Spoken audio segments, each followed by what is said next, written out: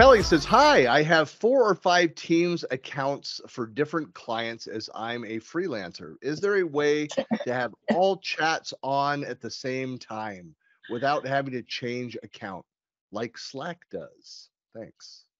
Good old Slack. Slam. Yeah. What kind Uh, of accounts are they? Yeah, Are they Teams. working school accounts? Yeah. Ah, It just different clients. So Teams. then maybe We have questions. I mean, yeah, that's it. Are they are they own they all own individual email, different email addresses? Because if they're all different email addresses for that account, with you know, you you get created. I've got you know multiple personalities across so many organizations, and I have to physically log out. I can't even do tenant switching, you know. So you got to physically log out and come in, and there's the difference between jumping between, federating between, having different, completely different accounts, and they're all different scenarios. So I have more questions. Well, we we've had the Yeah. discussions in the past, like before the new team version, um, where I had different uh, browser windows open, so I was uh, always Mhm. logged into the different instances, so Yep. you could see this. And so now, and that is um, from a productivity killer standpoint, because multitasking at people is a lie. It- it's it's very difficult to be productive and switching between that. So now with the new teams, just being able to see at the top, like, and, I, and with the little drop down, oh, hey, my, like for me, I've got, you know, I'm in my Rencore account, but I can see that CollabTalk has a bunch of notifications and four notifications for Techie Gurus and two for the Microsoft, you know, guest account. You know, I can easily then see, hey, there's activity happening and switching, but it's not popping up in different areas on my screen. It's in one menu with the multiple items so that I intentionally go to the next on the list and switch my view into that that tenant. But I know there's something sitting there waiting for me. Well, here's the hard part about the browsers. When you've got multiple browsers open, you're getting the ding, ding, ding, ding, ding. You're like, which which one was it? Which one was it? Like you're Yeah. trying to figure out where the ding ding Little came issues, from. right? Yeah. Little issues. I hear ringing in my ears. Yeah.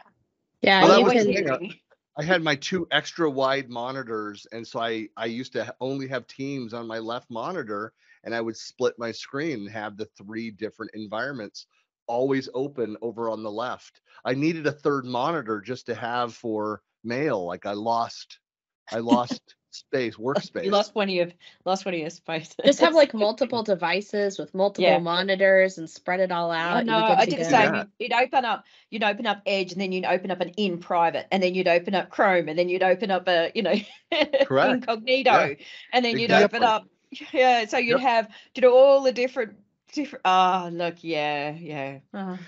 Good times. Like Good- Tuesdays and PGIs when they schedule five different meetings all at the same I time. Yes. And you put, you can put two in Oh. one browser, you can put two more in another browser, and then uh, the fifth one you can stick in your desktop client. The desktop client will only show you one. You, I'm know, there's impressed that you joke actually try and go to them all. you know there's the joke of the the first world problems then even above that there are mvp problems Right, like, right. To be sure. That i need to be on Yeah, to keep yeah. with Well, and part of what I was mentioning earlier, it depends on your, on the type of account too. I mean, there's a, there's a big difference to teams of Yes. work school account versus an MSA account. yes. And you're they're going back to the world of the MVP very slightly. That is all generally, they want Microsoft MSA accounts, which means you have to use the Teams Classic, which means a bunch of things. Yeah. Yeah. None of them pleasant. Yeah. pleasant. I don't. So I don't answer- think. Sorry. Go ahead. I was going to say, to, just to answer Kelly's question, make sure that they ask, they invite you in in a very specific way, and then Yes. that will make it easier to do chat. We really have to limit it down. If you you know you're looking at it, it's the instead of even doing that, you know, do you federate and get them to, i- i- you know, invite you to a team rather than, yeah, Well, that yeah, that's the big thing is are you a guest or are you, or are you in their tenant directly? Because those are two different experiences.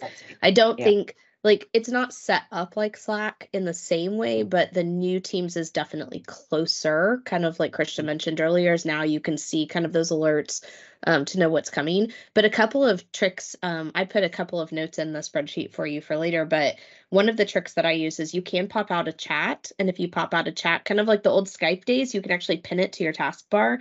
Um, so if you pop out a chat in any tenant, um, you just double click on it and pop it open. You can actually pin that so that then you'll get immediate notifications for that specific chat. So if you're like talking to somebody in a different place, you can actually keep that separate. Um, so I've done that quite a bit if I have very specific chats. Um, and then in addition to that, um, using profiles like we've all mentioned, I went ahead and put the link to my very old blog um, from when I set this up. But you can actually use Chrome profiles um, and you can create a Chrome profile for each login, which is what I do to keep track of all my multiple personalities. And you can determine which of those profiles has notifications enabled or disabled. So you know like which ones are going to ding and which ones aren't. And also, you can, one of the little bonus tips I have in there is at the very bottom on the settings, you can decide if you leave things where they're at when you close it. Um, so I go in at the very bottom and say, leave the tabs the way that I had them when I shut the profile down so that I can just go in and pick my profile, pop it open, do the work I need to do, and then get back out. Um, and it'll keep the tabs open. And you might have to re authenticate, but it'll at least kind of keep things where you left them when you got out. Is the pop-out chat only in um, new teams? Because I'm in classic teams because new teams likes to crash my whole computer once I turn my video on. Um, so, I'm sorry. um, and I can't pop out my chat in here. Pop so out I'm chat curious. should be a feature in classic teams, but not In for Classic, multi-tenant. For it Yeah. for multi-tenant, that's only in new teams if you want to do pop out chat. Okay, good. I Just want to get that clarification because I just looked at it and I can't do it that way. So Yeah, like, that I- would I save my life. I was just gonna Frustrating in add the, in in that the new uh, teams. Oh, go ahead. Sorry, Kirsty. No, it's all good. I, I was just saying that uh, uh, the the yeah the authentication issue, Sharon. I mean that's that's a it's an annoyance, but I mean you kind of again you get used to that. Hey, I again I'm I'm thankful for the level of security that things have these days, so I'm fine with it. Like always have your phone sitting right next to you. Use Authenticator, get into the Yep. stuff. Um, it's better than life without it when you have to remember passwords and you're getting locked out of stuff and it's a it's a hassle. But that was a- Until a- you leave your phone in the rental car and don't get it back for five days. I'm even calling, even trying to contact the mobile phone company to let them know your phone has been lost. I can't log in and they want to authenticate me to log in. They want to text me. I'm like, I don't have a phone. Oh phone. yeah. You can't log in. All right. So call us. Great. Except I don't have a phone to call you. Yeah. So there's that. I- I'm just saying, but isn't this just another argument in favor of microchips in our hands? Biometrics, baby, biometrics. Mm. Yeah, the hard part Uh, about like the hel- Windows Hello is I've got, I think, eight different profiles on my computer, all for me. They're different clients, right? So look, having it look at my face doesn't do any good because it's the same face for all of the, the accounts. So yeah, fun stuff.